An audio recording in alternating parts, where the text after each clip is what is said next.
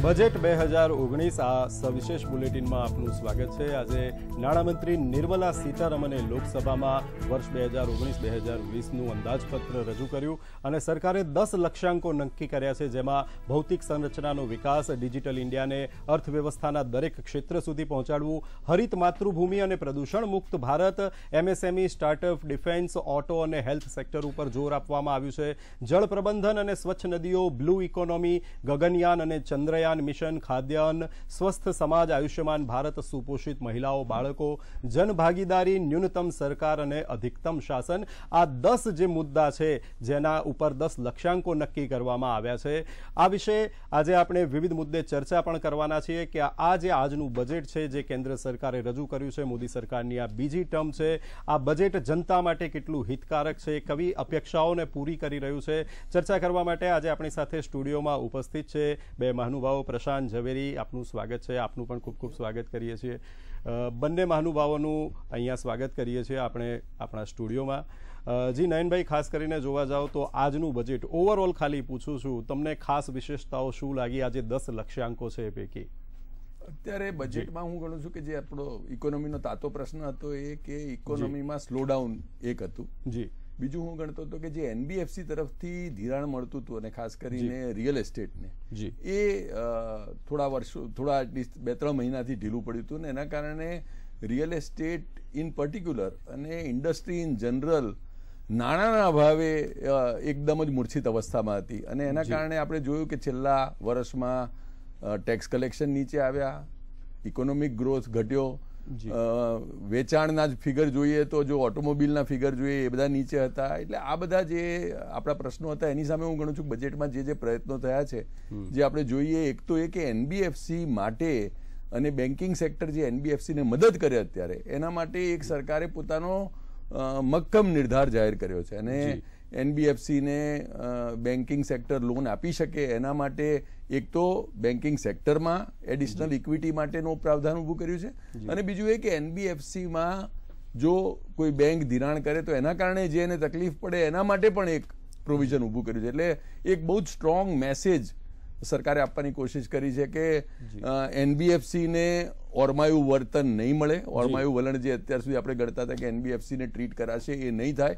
એ એમણે કહ્યું છે કે એનબીએફસીનું ખરેખર ઇકોનોમીમાં મહત્વ છે અને એટલે એનબીએફસીની જે જે તકલીફો છે એ બધી દૂર કરવા માટે સરકાર પ્રતિબદ્ધ છે મારા ખ્યાલથી. આ એક હું આ બજેટનું સૌથી મહત્વનું પાસું ગણું છું અને આના કારણે ઇન્ડસ્ટ્રીને એક ચોક્કસ રિલીફ મળશે. રિયલ એસ્ટેટને ખાસ રિલીફ મળશે. રિયલ એસ્ટેટની એક બીજું વાત કરું તો જે અફોર્ડેબલ હાઉસિંગની વાત હતી. અફોર્ડેબલ હાઉસિંગમાં ફરી એકવાર સરકારે કહ્યું છે કે અફોર્ડેબલ હાઉસિંગ એમના માટે પ્રાયોરિટી છે. અને એના માટે જે જે ફાઇનાન્શિયલ ઇન્સેન્ટિવ છે અત્યાર સુધી બે લાખના હતા. હવે સાડા ત્રણ લાખના કરવામાં આવ્યા છે. રિયલ એસ્ટેટ જે અફોર્ડેબલ હાઉસિંગ કરે છે એના માટેની જે ઇન્કમ ટેક્સની હોલિડે હતી એ બાબતમાં પણ સરકારે પોતાનો મક્કમ ઇરાદો જાહેર કર્યો છે.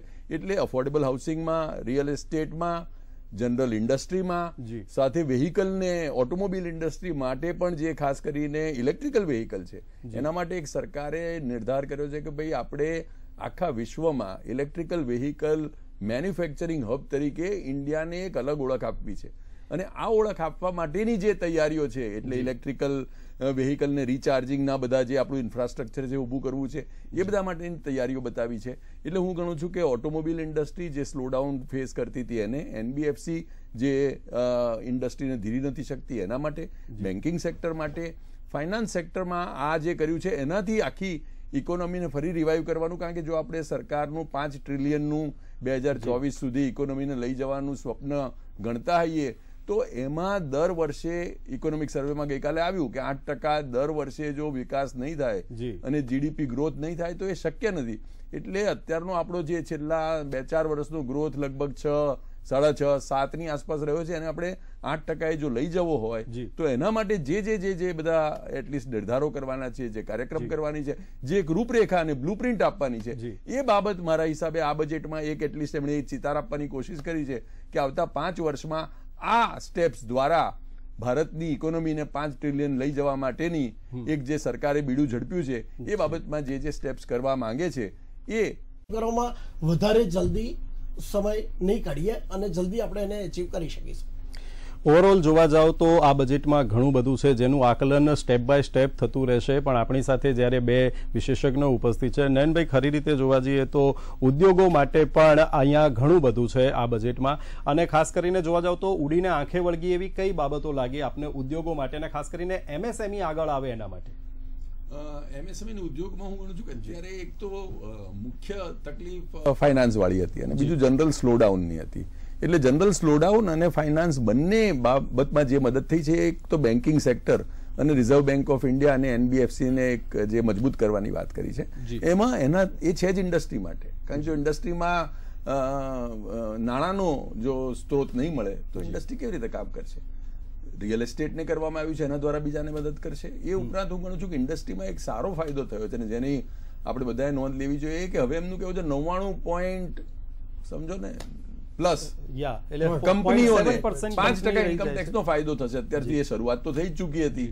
અને ઘણી કંપનીઝનો જે ટર્નઓવર અમુક હદ સુધી હતું એમને એ ફાયદો હતો. હવે એમણે વધારીને ચારસો કરોડ રૂપિયાનું ટર્નઓવર જે જે કંપનીને હોય એટલે એમ સમજો કે ઇફેક્ટિવ કોર્પોરેટ ટેક્સ હવે ઇન્ડિવિજ્યુઅલ ટેક્સ કરતા ઘટી ગયો. એટલે જો ઇન્ડિવિજ્યુઅલ ખરેખર કમાય અને એને ત્રીસ ટકા ઉપર ટેક્સ ભરવો પડે મારે તમારે જો ઇન્કમ ઉપર ભરવો પડે તો કંપનીઝ જે છે એણે ચારસો કરોડ લગભગ નવ્વાણું ટકા કંપનીઓને ભારતની ખાલી હવે પચીસ ટકા ભરવો પડશે. એટલે એ જે હું ગણું છું કે ટ્રમ્પ સરકાર હોય કે અહીંની સરકાર હોય કે જે. આપણે એક વાતાવરણ ઊભું કરવું છે કે જેથી મેક ઇન ઇન્ડિયા થાય જેથી ઇન્ડિયામાં ઇન્ડસ્ટ્રી આવે. ઇન્ડસ્ટ્રીને ઇન્ડિવિજ્યુઅલ કરતા પણ lower income tax at the highest level face કરવો પડે.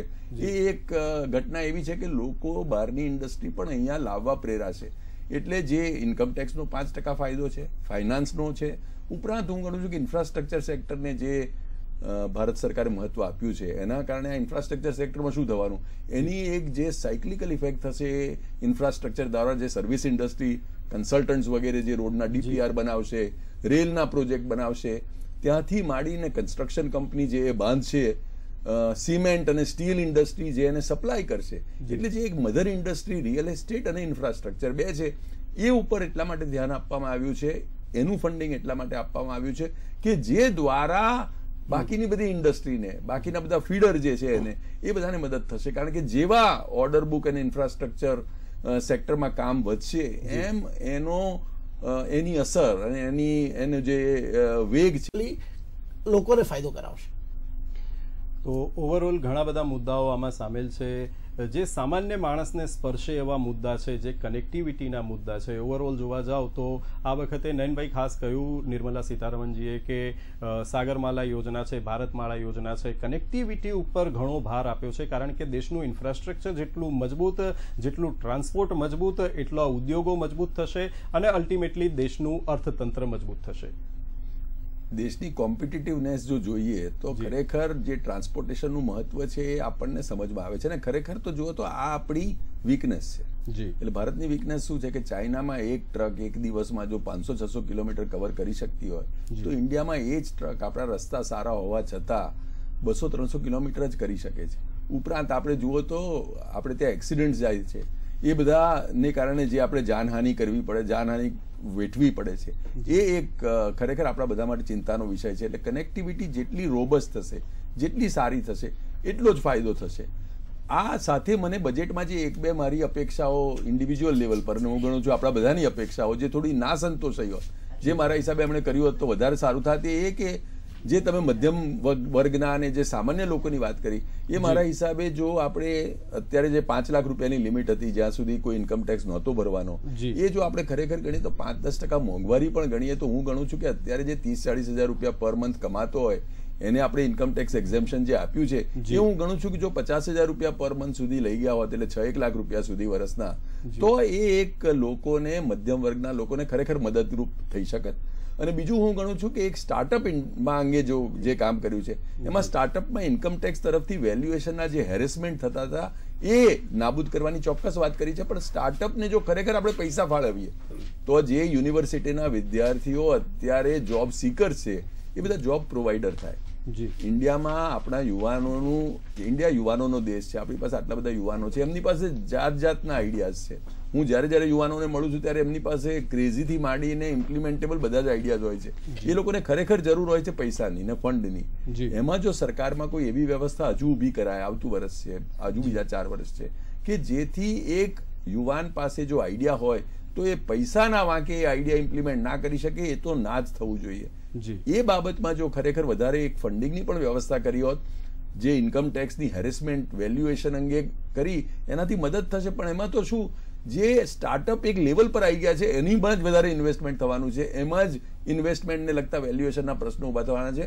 પણ પાયાનો પ્રશ્ન જે સ્ટાર્ટઅપનો છે, એ એ કે યુવાનોને સ્ટાર્ટઅપ કરવા માટેના પૈસાની જે તકલીફ છે, એ માટે જો સરકારે કર્યું હતું. એટલે એ એક.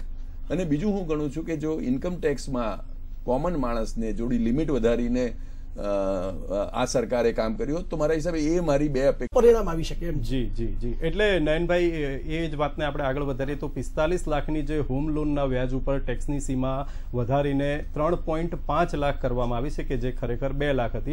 એટલે મધ્યમ વર્ગનું ખાસ ધ્યાન રાખવામાં આવ્યું છે. હું ગણું છું જી. હું ગણું છું કે મધ્યમ વર્ગનું તો એક ધ્યાન રાખ્યું જ છે. ચોક્કસ. પણ એની સાથે સાથે રિયલ એસ્ટેટ ઇન્ડસ્ટ્રીને પણ આનાથી ફાયદો થશે. કારણ કે અત્યારે જે એક મારા તમારા જેવા નાના માણસોને ઘર લેવામાં અડચણ એ થતી હતી કે એને વ્યાજનું ભારણ મુશ્કેલ રૂપ થતું હતું. હવે જો વ્યાજમાં એને મદદ થાય અત્યાર સુધી બે લાખની હતી હવે સાડા ત્રણ લાખની થઈ ગઈ. એટલે સમજો ને લગભગ એક સિગ્નિફિકન્ટ વધારો થયો છે. ખાલી પાંચ દસ ટકાનો નહીં પંચોતેર ટકાનો વધારો થયો છે. હવે સાડા ત્રણ લાખ રૂપિયા સુધીની મદદ અને આખી લોન પીરિયડમાં જુઓ તો એ મદદ ડબલ થઈને સાતેક લાખ રૂપિયાની થઈ શકે. એટલે એવા લોકો જેની પાસે એક ઘરની જરૂરિયાત તો છે જ. જી. પણ લઈ નહોતા શકતા કારણ કે નાણાકીય તકલીફોમાં હતા. વ્યાજનો ખરેખર સર્વિંગ એમના માટે પોસિબલ નહોતું. જે માણસ પંદર વીસ હજાર કમાતો હોય એ માણસ ઘર લઈ લે અને એનો જો ઈએમઆઈ ભરવાનો આવે તો આપણે જાણીએ કે એને શું તકલીફ પડે છે. હવે જો એમાં અફોર્ડેબલ હાઉસિંગમાં એને જો ઇન્ટરેસ્ટમાં સબસિડી મળે તો એ આજે લોન લેવાનું સાહસ કરી શકે. લોન લેવાનું સાહસ કરે તો શું? એ માણસ માટે તો સારું જ છે. કારણ કે એને એનું ઘરનું ઘર મળશે. પણ એના ઉપરાંત ફાયદો એ છે કે જે real estate companies affordable housing બનાવે છે અને અત્યારે એનો સ્ટોક ભરાઈને પડ્યો છે એના કારણે એને નાણાકીય તકલીફો પડે છે. એને ડિમાન્ડ મળશે. જી. રિયલ એસ્ટેટને જો મદદ થશે એની સાથે જે બેંક એનબીએફસી બીજા લોકો જે આ ધિરાણ કરી રહ્યા હતા એને અત્યાર સુધી ધંધો નહોતો મળતો કારણ કે એક નાનો માણસ લઈ જ શકતો નહોતો લોન એટલે ના એનબીએફસી ને કામ મળતું હતું ના રિયલ એસ્ટેટ વાળાએ જે બનાવ્યું છે એનો સ્ટોક વેચાતો હતો એ બધી તકલીફોનો હલ છે. એટલે ખાલી એક કોમન માણસને મદદ કરવાવાળી વાત નથી પણ એ મદદ થકી જે આગળ બેંકને રિયલ એસ્ટેટ વાળાને અને બાકીના બધા જે એના આગળના ઉદ્યોગો છે એ બધાને મદદ થાય.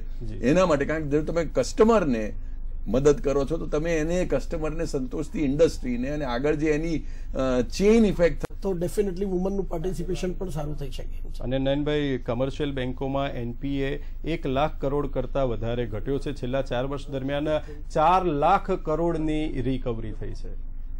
હું ગણું છું કે એનપીએ એક સમસ્યા એવી છે કે જેમાં ઘટાડવા માટે આપણે પાયાનું કામ કરવું પડશે. એટલે હું ગણું છું કે એમાં ડિમાન્ડ લાવવી પડશે. એટલે માણસ આપતો છે હું ગણું છું જો વિલફુલ ડિફોલ્ટરને આપણે કાઢી નાખીએ, કે જે માણસને ખરેખર પૈસા હોવા છતાં નથી આપવા એ વાત હોય, એવાને જો કાઢી નાખીએ જે હું ગણું છું કે માઇનોર પર્સન્ટેજ છે. તો મેજર લોકો એવા છે કે જેણે ઇન્ડસ્ટ્રી કરી છે, પણ ઇકોનોમી સારી નહીં ચાલવાને કારણે, ધંધો સારો નહીં ચાલવાના કારણે એ લોકો રીપેમેન્ટ નથી કરી શકતા. રીપેમેન્ટ નથી કરી શકતા એટલે એનપીએમાં પ્રવર્તે છે. એનપીએમાં જાય એટલે એની ઇકોનોમીને બેન્કિંગ સેક્ટર ઉપર અસર પડે છે. હું ગણું છું કે જો આપણે ઇકોનોમીને વેગવંતી કરીશું જો. આપણે આઠ ટકા જીડીપીનો ગ્રોથ કરીશું જો આપણે કોમન મેનને એક એવી લોન આપીશું જેના કારણે એની ડિમાન્ડ વધે અને ઘરોની ડિમાન્ડ વધે ઘરોની ડિમાન્ડ વધે રિયલ એસ્ટેટને મદદ કરીશું આ બધું કરવાથી જે ઇકોનોમીને વેગ મળશે તો હું ગણું છું કે નેવું ટકા એનપીએ થશે જ નહીં. જી. એનપીએ થયા પછી એને સોલ્વ કરવું હોય તો અલગ વાત છે.